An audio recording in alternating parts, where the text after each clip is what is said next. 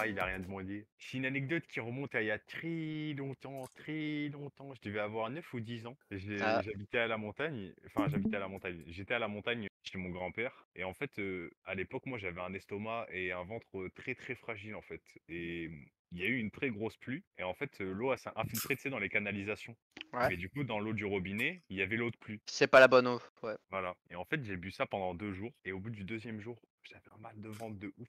Et on était avec mon frère, on regardait des vidéos à la con sur YouTube. Et tu sais, genre, on était assis dans des espèces de transat un peu bizarres où t'avais un peu le cul dans le vide, tu vois. Et je rigolais avec mon frère. Et au bout d'un moment, je me rappelle, je rigole, je rigole, je rigole. Et il y a une contraction de ventre, mais c'était une contraction un peu de trop. Et là, voilà, gros, je me suis chié dessus. Et tu vois, moi j'ai compris que je m'étais chié dessus. Mais mon frère, lui, il a pas compris. Et J'ai regardé mon frère dans un élan de Sauve-moi Il m'a pas sauvé. Les yeux du désespoir.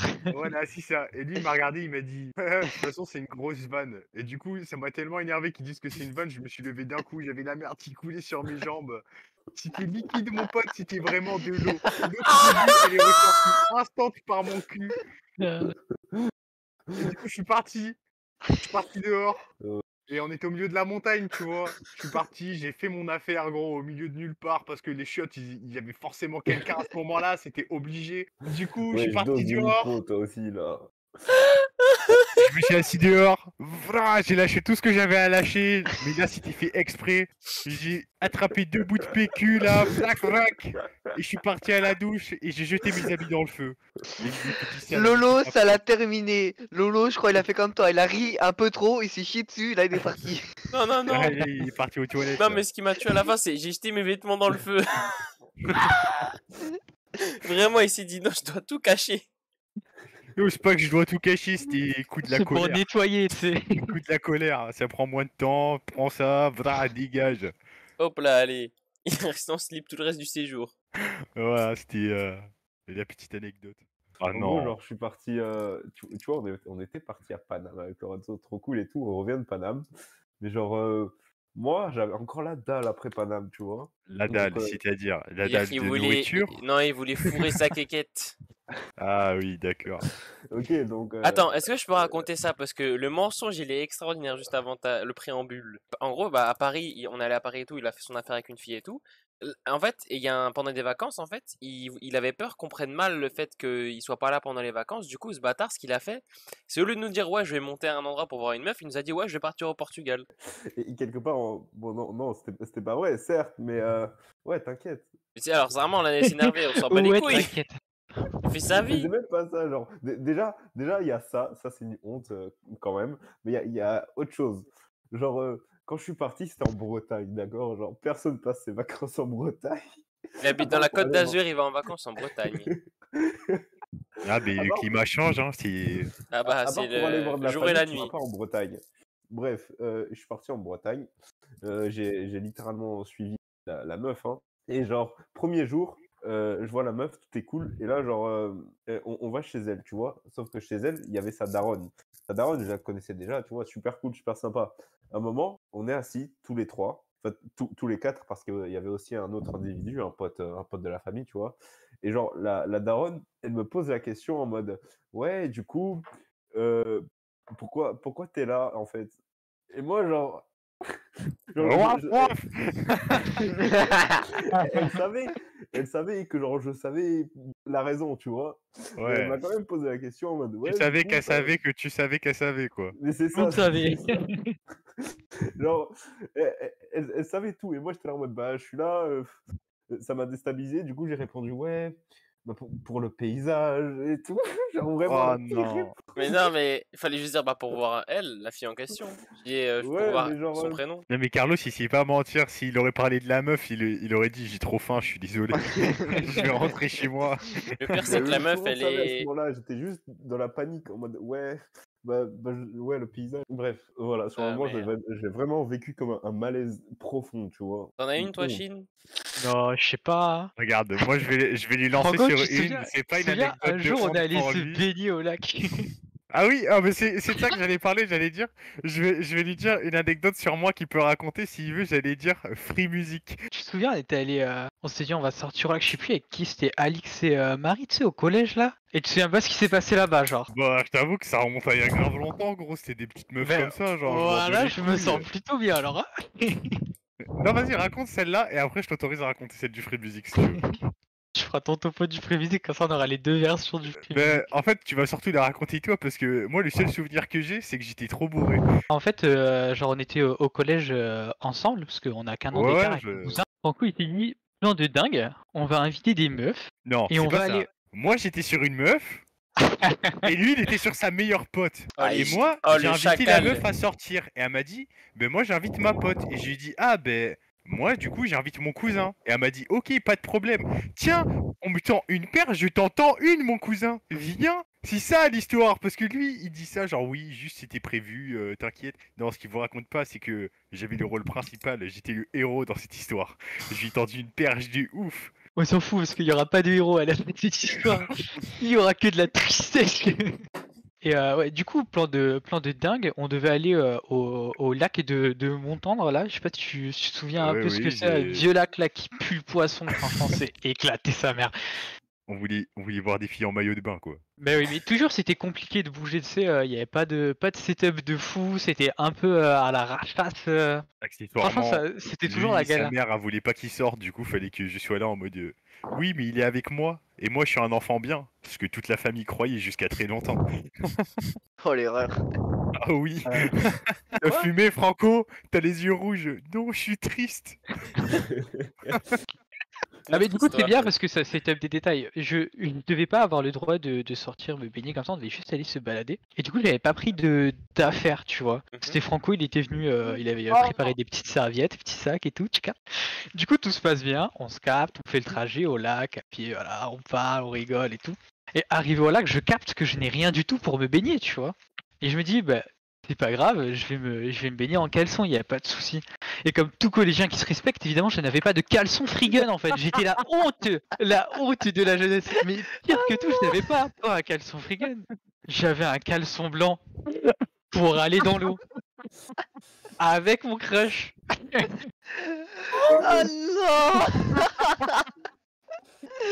J'ai trop l'image en tête là, ça y est. Le mec il s'est dit, alors je vais pas prendre ma- de maillot et en plus je vais prendre un caleçon, il sera blanc. Ah, mais parce que prévu, gros J'ai- prévu, tu vois. ramené son crush en maillot de bain, j'ai prévu les serviettes, je suis venu le chercher, gros. Le seul truc qu'il avait à prévoir, quoi, c'était au moins de mettre un caleçon. noir, quoi. Oh, malheur. Ouais, parce que le caleçon blanc, le pire c'est qu'on voit tout quand c'est mouillé. Mais c'est que avec l'eau dégueulasse là déjà. L'eau du lac, elle était pas marron genre trouble, elle était marron genre opaque. Wow. Comment confondre une trace de pneu et de l'eau du lac? Non, mais c'est pas moi, promis. Ou là il était blanc, je vous jure. L'été 2020, euh, du coup on voulait fêter notre bac, etc. etc. Et euh, donc du coup on s'était dit, bah venez les gars, c'est tous un barbecue euh, le midi, on se rejoint tous, toute, euh, enfin, toute la classe de terminale, pour fêter le bac. Du coup on se retrouve tous, on, on fête le bac, euh, tout se passe bien. Et déjà je vous mets dans l'ambiance, on est dans euh, une grande villa, on a piscine, euh, plancha, avec transat autour, vraiment on est bien, hein, tu vois. on- C'est un Ouais. excellent barbecue. Ah, et bah, un très bon barbecue, ouais. Ah oui, oui, oui, très très bon barbecue. Et là, ce qui se passe, c'est bah, tout simplement, bah, on a faim, on mange, et euh, du coup, on, on passe la soirée, on mange tranquille et tout. Sauf que forcément, t'as des personnes terminales qui, la moitié ne savent pas cuisiner. Du coup, t'as pas beaucoup euh, de monde qui savent cuisiner. Et moi, je suis dans la catégorie des gens qui savent cuisiner. Appelez-moi chef, s'il vous Faire des pâtes, quoi. Ouais, e- Ouais, il d'un barbecue. Voilà, exactement. Et du coup, c'est moi qui m'occupais du barbecue. Et du coup, ouais, on devait être 8. Et donc, du coup, t'imagines un mec qui doit faire à bouffer pour tout le monde en sachant que les autres n'attendent pas pour bouffer. Donc, en gros, toi, tu te retrouves tout seul à ne rien manger. Et la seule chose que tu manges, c'est ce que tu fais en deux spies plus les verres que tu bois. Donc il a plus bu que mangé, quoi. Voilà, c'est ça que Exactement. dire. Déjà, l'erreur. rempli de vodka. Voilà, l'erreur. Avoir le ventre vide avec beaucoup d'alcool. Et, euh, les- Du coup, la journée se passe bien au final. Et arrive le soir, auquel donc du coup certaines personnes sont rentrées chez elles parce qu'elles ne pouvaient pas dormir ou autre. Euh, bah du coup on passe la soirée etc. Et là je, je bois, je bois. Et là j'ai un blackout. Là à partir de là je n'ai aucun souvenir. Tout ce que je vais vous dire à partir du tous mes potes. c'est des amis qui m'ont raconté. Exactement. C'est exactement ce qui s'est passé. Alors apparemment donc si vous voulez je vous mets un petit peu euh, la- zone.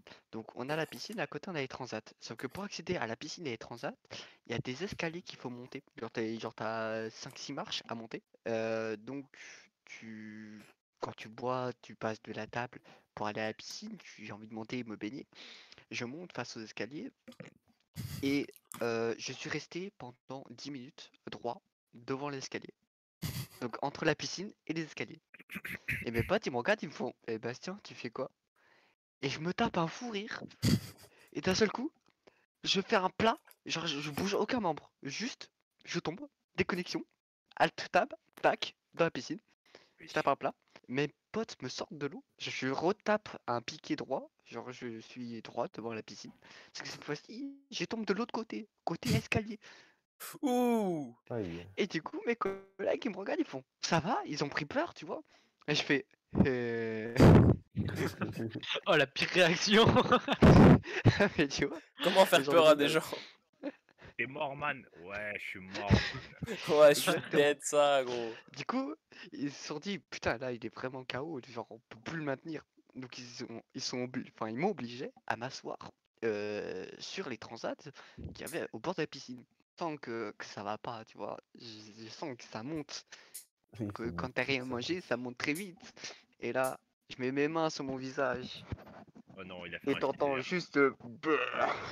Oh Oh non. Et tous mes collègues qui me regardent, qui font Bastien, enlève tes mains. Et t'entends le plaf. Oh du but Toute la chair qui part. Ah, et ça, c'est un but contre son camp, oui, c'est le cas de lui dire.